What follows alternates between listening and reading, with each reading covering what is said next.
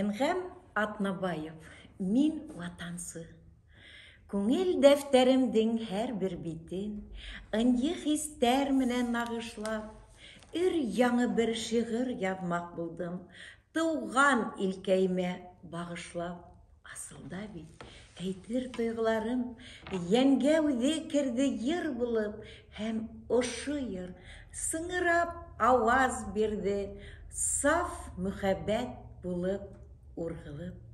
Саф мөхәббәт булып урғылған йыр Ул ватанға минең һөйөүем, Унда минең сикһеҙ рәхмәттәрем, Мәрхәмәткә тулы күңелем.